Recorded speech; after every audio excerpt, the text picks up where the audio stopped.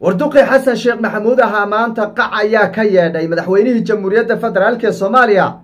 Saacadihii la soo dhaafay waxaa la sheegay inuu leeyahay ma filaynin farmaajo iyo saciid cabdulaahi deni inay isqaadanayaan oo sida noqonayaan.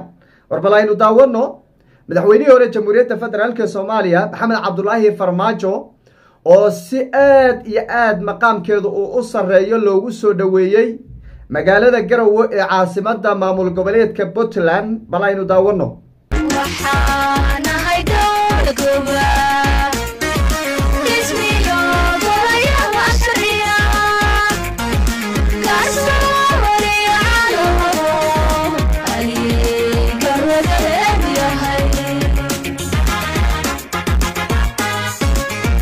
saacadihii la soo dhaafay madaxweynaha jamhuuriyadda federaalk ee soomaaliya xasan sheekh maxamuud waxay ku noqotay wax filan waa ah. Deni iyo farmaaja isqaadani oo farmaaja garowe sidaa loogu soo dhoweyni oo ummadda intaa dhan baa iskugu soo bixi oo xukuumaddii saciid cabdulaahi deni oon qofna ka hadhin baa garoonka sii tegi oo saciid cabdulaahi deni baa xabadka gelini farmaajo. Ma filaynin buu yidhi baa lii ma filaynin. Farmaajo ugu dambayn safar uu maalmihii ugu dambeeyey qabanqaabadiisu ay socotay iyo hadalhayntiisuna ay taagnayd ugu dambayn maanta magaalada garowe ee caasimada maamul goboleedka puntland ayuu ka degay. Saciid cabdulaahi deni iyo xukuumaddiisii ayaana soo dhoweeyeen. Safarka farmaajo ajandayaasha looga hadlayo kulamada goosgooska durba ka bilowday magaalada garowe wafuud kaleeto oo heer caalamiya oo iman doonta garowe maalmaha soo socdo xubnaha mucaaradka ee ka soo horjeeda wax kabeddelka dastuurka oo iyadana magaalada garowe tegi doono qodobkeena koowaad ayaan ku dul istaagi doonaa hadduu abaydmo qodobkeena labaad madaxweynihii hore ee jamhuuriyadda federaalk ee soomaaliya sheekh shariif sheekh axmed maanta runta ayuu u sheegay xasan sheekh maxamuud. Waxa uu yidhi waxaa nasiib darro ah in xukuumaddii federaalka ay abaabulayso qabyaalad iyo wax dalkan iyo dadkan soo baabiiyey oo muddo dheer ay ku soo jireen waxaas isagaa iyo qabyaaladda maxay tahay qaab noocee ah? Ayay u abaabuleen bal aynu wada daawano weliba nasiib darro waxaa ah xukuumaddan hadda jirta. Yacni xilliyada dambe waxaa looga shaqaynaya qabyaaladda si aan fiicnayn war dalkan qabiil waa u burburay. Waa lagu aaminay. Dowladaa lagugu aaminay. Maxaa qabyaalad uga shaqaynaysaa qabiil meesha uu ku soo dhammaana waa naqaanaaye? Ma dadka ixtiraamtid oo naftaada ixtiraamtid oo wixii laguu dhibay ixtiraamtid oo ummadnimada ixtiraamtid shalay markaa mucaaradka madaxweyne farmaajo waxaan dhihi jirnay lacagu ku bixiyaa wariyaasha dadka inay caayaan. Dadow mataqaanaa lacag siiya maxaa la sameeya hadda? Shalay wixii aad diidaneed ma hadda adiga samaynaysaa? See lagaaga qaadana? Maxaase uga baahan tahaba inaad dad caayda hadda? Ya? Qabiil iyo dad in la caayo maxaa looga baahan yahay ilaahuw ceebahanaga astur. Muuqaalo badan ayaan idinku soo bandhigay odayaal waaweyn oo duqeyo ah oo intii maalmihii ugu dambeeyey lacag la siiyey oo warbaahinta loogu yeedhay. Oo lacagtii xataa warbaahintu ilaa lacag bay qaadataa ee lacag lagu siiyey la yidhi aflagaadeeya oo cacaaya farmaajo. Aflagaadeeya oo cacaaya farmaajo. Muuqaaladeena hore dib baad uga daawan kartaan odayaashaasi. Odayaashii markaa hawiye ee lacagta la siiyey ee xasan sheekh maxamuud uu lacagta ku siiyey inay aflagaadeeyaan farmaajo ayuu sheekh shariifna hadda ka hadlaya waad maqlaysaan? Waxa ayaan daraa buu yidhi in xukuumaddii federaalka iyadu ay abaabulayso oo ay waxa weeye dabada ka riixayso in la cacaayo qabiilo iyo shaksiyaad in la aflagaadeeyo la cacaayo bal waxaas eeg. Waad maqlaysaan soomaa sheekh shariif dad badan oo iisoo qorayaan arkayey war odayaashan dee dowladda armayn ka dambeynin war armay xasan sheekh maxamuud uusan ka dambeynin haye madaxweynahaas intaase waxa weeye odaygaaye haddana waaye araggaaye siyaasigaa ee weliba ergeygii xasan sheekh maxamuud uu magacaabaya. Hadalkiisana maxaad ka leedihiin? Maxaad leedihiin isagana?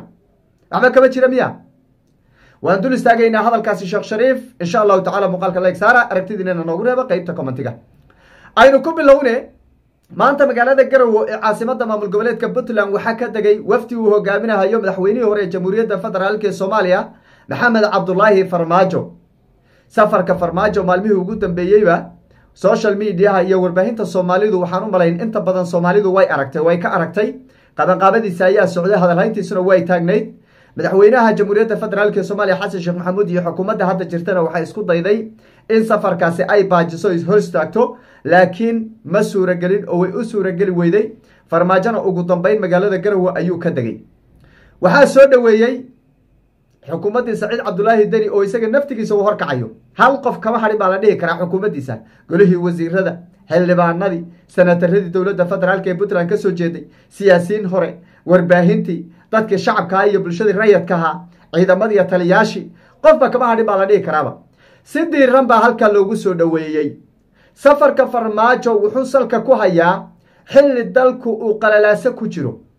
Oo si weyn la iskugu hayo arrimo wax ka beddelka dastuurka ah oo weliba dhowr qodob ah oo villa soomaaliya ay doonayso inay si xoog ah ay ku meel mariso mucaaradka maamul goboleedyada qaarkood saamileyda siyaasadeed beesha caalamka naftirkeeda ay digniino ka soo saartay oo si weyn ay uga soo horjeedaan oo la leeyahay war ka daaya haddaan laysla ogolayn dalku meel xun buu gelayahay.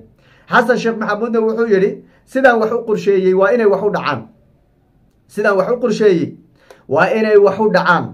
Arrimaha sida weyn la iskugu hayo villa soomaaliyana ay doonayso inay meel mariso mucaaradkuna ay leeyihiin ka daaya maamul goboleedyada qaarkoodna ay leeyihiin ka daaya ee sida weyn la iskugu hayo puntland horay bay iyadu u sheegtoy tidhaahdee hadday halkaa gasho annagu halkaasaan maraynaa hadday halkaa gasho halkaasaan maraynaa way caddeeyeen mowqifkooda saciid cabdulaahi deni isagoon kursiga ku guulaysanin buu horey u sheegay. Oo uu yidhi puntland waxba lama lahaanayso muqdisho. Haddaan laga daynin oo wax isla ogola aan laga dhigin hanaanka wax ka beddelka dastuurka.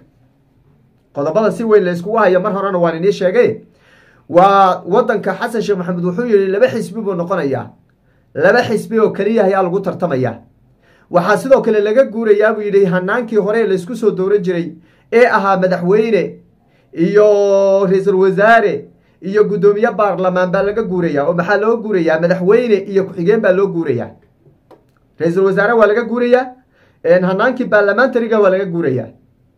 Arrimaha marka haddii marka dastuurka laga bedelayo wixii hore iyo hanaankii doorashooyinku ay u qabsoomayeen waxaa la yidhi waa dastuur cusube dastuur cusubna waa in habraacii saxda aha loo maro oo maamul goboleedyada ay qeyb ka noqdaan oo lagala tashado xisbiyada mucaaradka waxa weye lagala tashado bulshada rayadka lagala tashado cid walba dooda ay ka qabto hanaankan cusub ee loo guurayo iyo dastuurkan cusub ee la samaynayo waa in la weydiiyo waa in la weydiiyo. Haddana siyaasiyiintii soomaaliya raggii ugu adadkaa iyo raggii mas'uuliintaha ee ugu saamaynta badnaay oo dhan waa diidayin arrintan. Xasan sheekh maxamuud wuxuu yidhi ilaa wa ilaa way maraysaa ilaa wa ilaa way maraysaa.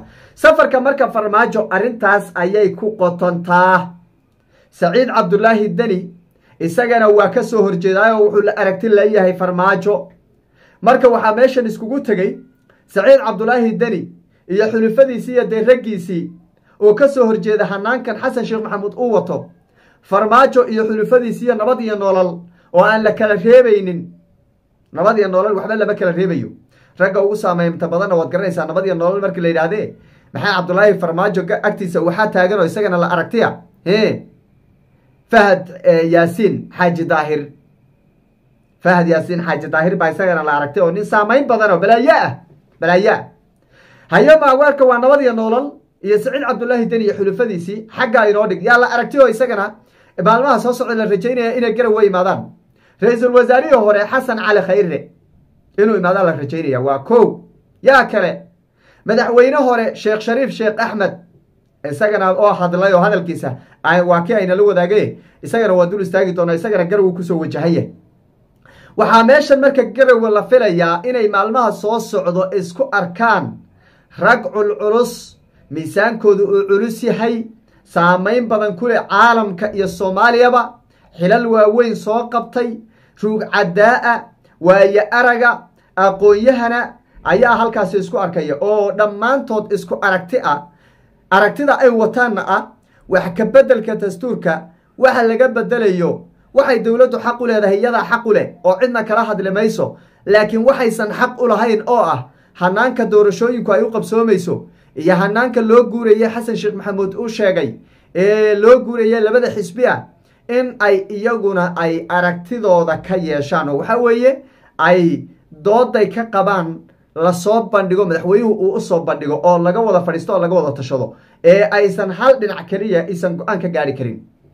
Hal dhinac keliya aysan go'aan ka gaari halka aragti bay iyagu qabaan. Aragtida ay qabaan. Waxaa weye war xasanow miiska inoogu keeno waxaan ka qabno naga dhegayso anigana aan ku dhegaysano aan ka doodno waxaan isla ogol lahay baarlamaanka aan horgeyno haddayn dhicin soo maaha. Haddayn dhicin soo maaha. Maamul goboleedyo badan baa maqnaa. Kuwa maqan kuwo kalaa ku darsamay oo go'aya adna meeshaad ku xukumaysaa loo baahan yahay. Annagana nagu xukumi maysid.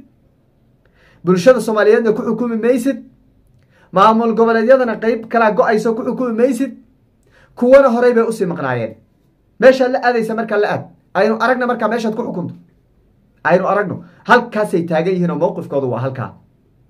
Xasanna wuxuu leeyahay anaa talada haya? Sida aniga aan wax u qorsheeyey bay u dhacayaan. Waa inay u dhacaan. Guddoonkii buu la shiray maalmaa la astaysay qaabka loo meel marinayaa la asteeyey waa la isla meel dhigay. Wuxuu haystaa rag guddoona oo wuxuu firimbiga bib oga siiyaba horay ka fulinaya taasi ayayna hadda ku qotontaa shirkan iyo wafuudan iyo mas'uuliyiintan ku soo qulqulaysa magaalada garawo ee caasimadda maamul goboleedka puntland. Waynu arki doonaa way hadli doonaan waynu waxa weye inii soo gudbin doonaa isha ayaan ku hayn doonaa. Annaga naftirkeenna in ummadda soomaaliyeed ay kala tagto diyaar uma nihin. Waxaynu rabnaa inay ummadda soomaaliyeed isla joogto la xoojiyo midnimadooda wada jirkooda wada wax wada qabsigooda nabadgelyadooda amnigooda noloshooda mustaqbalkooda in ay mid ahaadaan oo laga shaqeeyo say ummadda soomaaliyeed ay wada jir ugu wada noolaan lahayd ayaa wanaageenu iyo aynu waxa weeye inoogu jiraa. Taas ayaan anaguna ka shaqaynaynaa. Sidaasi darteed isha ayaan ku hayn doonaa mas'uuliyiintaasi garowa ku shiraysa iyo go'aanada ay sida wadajirka ugu dhawaaqaanba waa inii soo gudbin doonaa hadduu eebe dhanka kale waad maqlayseen intii yarayd ee muuqaalka ahaydeen inaga dhegaysiiyey ee shariif sheekh axmed sheekh shariif sheekh axmed madaxweynihii hore jamhuuriyadda federaalka ee soomaaliya. Maalmihii ugu dambeeyey magaalada muqdisho waxaa ka socday filim la yidhaahdo farmaajo wuuna laayey farmaajo soomaali nacayb baa ku jiray farmaajo wax buu xasuuqay farmaajo sidan buu yeelay farmaajo waxa weye tacdiyooyin buu geystay gabdhuu laayey maamuud dilay qaraxyuu ka dambeeyey qaraxan waxa weye s y l isaga ka dambeeya dagaalkan ka dhacaya beled weyn isaga ka dambeeya koonfur galbeed isaga ka dambeeya muuqaalo horena waan idinku soo gudbiyey iyadoo maqal iyo muuqaal ah odayaal waaweyn oo intii lacag la soo siiyey layidhi aflagaadeeya oo cacaaya farmaajo. Waa kaan idiin soo gudbiyey. Muuqaaladeeni horaan kaga hadalnay asbuucyadii ugu dambeeyeyna tan iyo maalintuu farmaajo ku soo laabtay magaalada muqdisho arrintaasi ayaa socotay. Shariif sheekh axmed baa ka hadlay oo waad maqlaysaan sheekh shariif sheekh axmed ayaa ka hadlay xukuumaddii baa abaabulaysa buu yidhi.